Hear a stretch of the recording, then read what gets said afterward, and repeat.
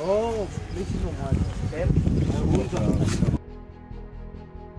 Uh, my name is Patrick Majalifa Autata Jr. I was named after my father actually.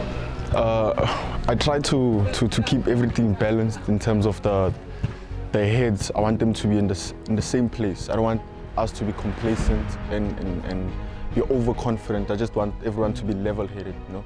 We haven't done anything yet. We haven't, the road is actually starting now, the journey is starting now. So the mood is quiet, everyone is happy. There's a bit of fatigue with some players, but everyone is happy and we all, I think we're all focused. So everything is just starting now. Scored only two against Comoros when one thought uh, there might be more goals. Uh, what do you think changed from the previous two games? the intensity of the game because of the two teams that we played, uh, of the three teams we played, we felt Comoros was the most structured team. They were able to build up, they were able to shift. You know, when we did analysis, we saw that they used mostly their left-hand side. So they were, they were structurally organized, they were good. Um, and we also made a few changes in our starting lineup. So a few players had to adapt, some players got their first start, you know. But take no credit away, Comoros was a good team and we also fought very hard. They were very physical also. But yeah, the approach never changed. The Approach didn't change at all.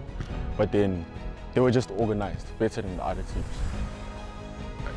What, what are you guys expecting against Comoros?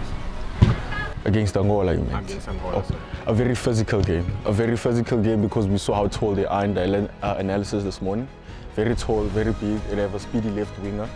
So we, we, we working on a way to manage that. So we're expecting a very physical game. But we're not going to change how we're going to approach the game. We're still going to approach the games the very same way. We're going to stick to the plan. So yeah, very physical game, very physical. Do you see yourself uh, advancing as far as to the final and winning the cup? Definitely, with the talent that we have here, with the technical staff, the coach, the nation, everyone, the support we have, we see ourselves definitely advancing to the semi-final.